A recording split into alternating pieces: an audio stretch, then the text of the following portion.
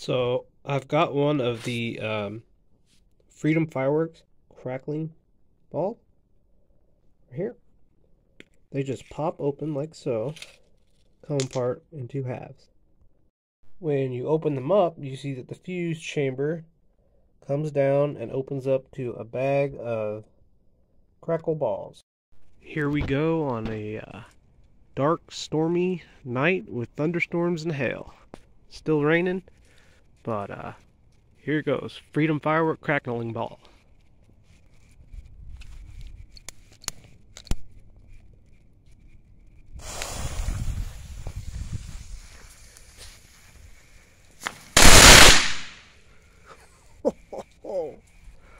that was pretty good.